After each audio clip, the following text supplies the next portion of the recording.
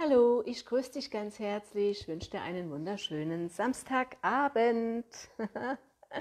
ich sehe noch ein bisschen zerzaust aus, weil ich eigentlich gerade aus dem Regen komme. Ich war noch im Wald unterwegs, in der Dunkelheit oder fast in der Dunkelheit. Jetzt ist es ganz dunkel. Ähm, hinter deinen größten Zweifel steckt dein Seelenplan, habe ich heute Mittag gepostet. Und da gab es ein paar Fragen dazu und deshalb möchte ich da mal eben drauf eingehen. Weitere Gedankenanregung. Schau mal. Liebe Selena, wunderschönen guten Abend. Weitere Gedankenanregung zu deinen Zweifeln. Schau mal. Stell dir mal vor, du hättest überhaupt keine Zweifel. Was würdest du dann tun? Stell dir vor, du hättest keine Zweifel. Was würdest du dann tun?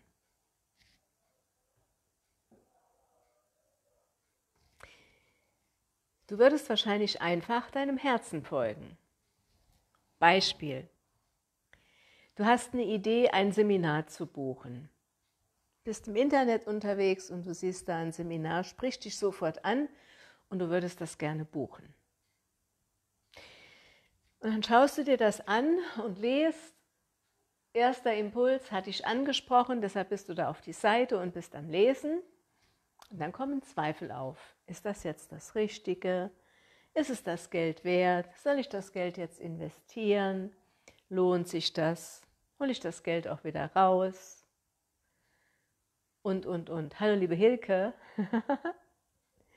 Oder ein anderes Beispiel. Du hast ein Angebot, ein tolles Coaching zu buchen. Dein Herz und deine Seele schreien, ja, mach das. Genau das ist es jetzt. Genau das ist der nächste Schritt den du machen kannst, um da den nächsten Quantensprung in deinem Leben zu machen. Und dann kommen wieder Zweifel auf. Ist das jetzt das Richtige? Passt das? Hole ich das Geld wieder raus? Kriege ich bis dahin, bis zum äh, Seminarstart oder bis zum Coachingstart auch das Geld zusammen und solche Dinge? Oder du würdest gerne Ausbildung irgendwas machen, hast vielleicht eine Idee, hat dich irgendwas angesprochen. Es ist immer wieder das gleiche Spielchen oder du würdest gerne einen Kurs buchen. Es ist immer und immer wieder das gleiche Spielchen. Ein Impuls ist da, es spricht uns irgendetwas an. Warum spricht uns denn irgendetwas an? Sei es jetzt, dass du irgendein Angebot, ein Seminar im Internet siehst oder dass dir jemand gegenüber hockt, ein Mentor, ein Coach, wie ich zum Beispiel, macht dir ein Angebot um mit mir zusammen zu arbeiten, dass wir deinen Seelenplan entdecken, deinen Seelenberuf kreieren und durchstarten. Was du durchstarten kannst, für dich machen kann ich natürlich nicht. Und dein Herz und deine Seele schreien, ja, genau das ist es. Und im nächsten Moment sind schon wieder Zweifel da. Schau mal diese Botschaft aus deinem Herzen heraus. Dein Herz, dein, das kann dich nicht belügen, das möchte ich auch nicht belügen und schon gar nicht betrügen. Das sagt, ja, mach. Denn wenn du keine Zweifel hättest, dann würdest du es ja machen. Dann würdest du es einfach machen, wenn wir ohne Zweifel wären. Hallo, liebe Manuela. Und diese Zweifel, in dem Wort Zweifel steckt ja schon das, das Wörtchen zwei drin. Es stecken zwei Persönlichkeiten in uns im Grunde genommen. Die eine Persönlichkeit, das ist der Kopf, der immer alles in Frage stellt. Funktioniert das? Kann das so einfach sein? Bin ich jetzt nicht zu alt? Ist das wirklich das Richtige für mich? Oder ist jetzt der richtige Zeitpunkt? Kriege ich das Geld zusammen? Keine Ahnung, was auch immer. Unser Köpfchen kommt ja oft gar nicht auf die Idee, mal die Überlegung anzustellen, was kann denn alles Großartiges geschehen, wenn ich das Coaching jetzt buche, wenn ich das Seminar buche, wenn ich die Ausbildung mache, keine Ahnung, was auch immer es ist. Was kann daraus alles Großartiges entstehen? Darüber machen wir uns ja gar keine Gedanken, sondern der Zweifler in uns, das Köpfchen, ich nenne es jetzt mal liebevoll Köpfchen, dem lassen wir seinen Raum.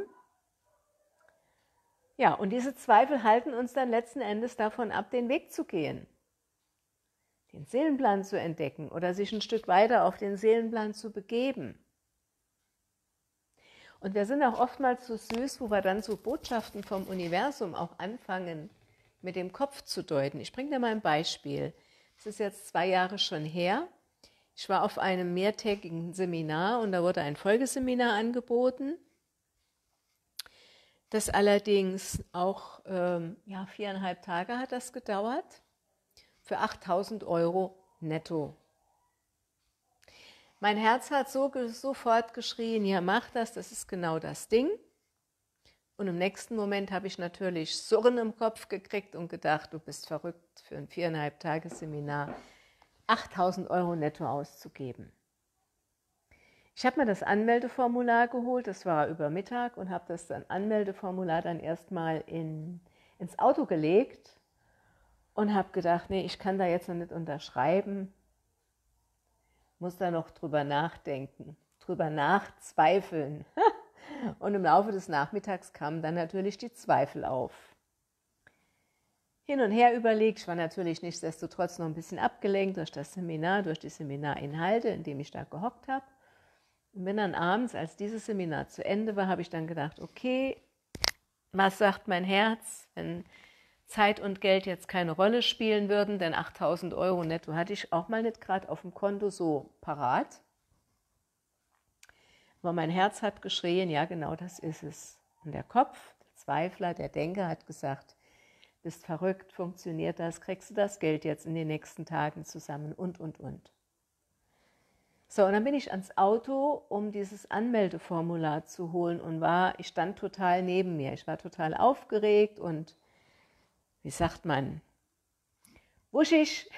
mir fällt gerade kein anderer Ausdruck ein. Ich glaube, du weißt, was ich meine habe auch so ein bisschen gezittert, habe dieses Anmeldeformular aus dem Auto rausgeholt und bin dann so in meiner Aufregung schnell zurück in, diese, in den Veranstaltungsort und bin dort auf dem Parkplatz gefallen mit dem Anmeldezettel, weil ich einfach so neben mir stand und so aufgeregt war und so nervös war und bin mit dem Zettel auf diesen Prasche-Parkplatz da äh, gefallen. Das war so ein steiniger Parkplatz. Habe mir die Handinnenfläche noch aufgefallen habe dann noch geblutet, das Anmeldeformular war zerstört. Und was hat mein Kopf sofort mir gesagt? Hm, mein Zweifler, mein Denker. Hallo, liebe Susanne. War das jetzt nicht wohl eine Botschaft vom Universum, dass du dieses Seminar nicht machen sollst? So kreativ ist der Denker dann. Der Denker ist dann so kreativ, dass er schnell die Herzensbotschaft, was aus dem Herzen herausfließt, schon wieder zunichte machen kann. Das war mein allererster Gedanke. War das nicht jetzt ein Hinweis, dass ich das nicht machen soll?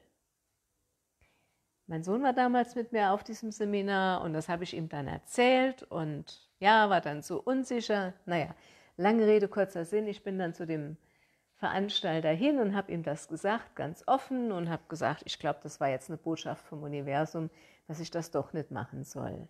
Wir haben dann ein bisschen geredet noch und lange Rede, kurzer Sinn. Ich habe dann natürlich trotzdem auf mein Herz gelauscht, ähm, habe meine Unterschrift darunter gesetzt und habe dann auch dieses Seminar besucht. Und es war das Beste, was ich machen konnte. Es hat mich einen Riesenschritt weitergebracht. Hallo, lieber Thorsten, schön, dass du dabei bist. Es hat mich einen riesen, Riesenschritt weitergebracht. Auf den Weg zu meinem Herzen, zu meinem Seelenplan, noch weiter kreativ zu sein, noch besser zu unterstützen, dich hier und auch äh, natürlich auch in der internen Gruppe in der Akademie. Hätte ich aber meinem Zweifler den Raum gelassen, hätte ich das Seminar nicht gebucht und hätte nicht diese wertvollen Informationen bekommen und später auch umsetzen können, die ich da eben bekommen habe. Und unter diesen Aspekten steckt auch hinter dem größten Zweifler auch der, das größte Potenzial, den Seelenplan zu entdecken. Denn das ist immer eine entscheidende Frage, die du dir da unterstützend auch stellen kannst. Was würdest du tun, beziehungsweise was würde ich tun, wenn du das natürlich in der Ich-Form solltest du dir die Frage stellen, was würde ich tun, wenn ich keine Zweifel hätte? Du würdest, du hättest eine Wahl hast du immer, aber du würdest doch auf dein Herz lauschen, wenn keine Zweifel da wären. Oder wenn wir so gepolt wären von unserer Denke her, dass wir uns auch mal Gedanken drüber machen würden, statt zu zweifeln, was ist, wenn es nicht funktioniert, Gedanken drüber machen würden, was ist, wenn es großartig wird, wenn es bestens funktioniert. Was dann, wenn ich den nächsten Quantensprung in meinem Leben mache? Wenn ich ganz wertvolle Informationen da jetzt bekomme? Denn dein Herz, das dich nicht belügt, das hat er ja deshalb den Impuls geschickt. Das hat dich hierher in die Gruppe gebracht. Das hat dich im Internet irgendwas entdecken lassen. Das hat dir einen Impuls gebracht, irgendetwas zu verwirklichen, wenn du vielleicht schon selbstständig bist und Ideen hast, irgendetwas zu machen poppen Ideen aus deinem Herzen, aus deinem Selbst, aus deinem Unterbewusstsein, Überbewusstsein, von deinem Geist, nenn es wie du es nennen möchtest, spirituell vom, vom höheren Selbst, keine Ahnung, von Gott, wem auch immer. Das sind Dinge, die, die zu dir poppen. Und dann fangen wir an zu zweifeln. Im ersten Moment, wow, und im nächsten Moment, wenn unser süßes Köpfchen hier einsetzt, fangen wir an zu zweifeln. Und was wäre, wenn wir keine Zweifel hätten? Wir würden unserem Herzen folgen. Wir würden einfach nur unserem Herzen folgen und wären kreativ.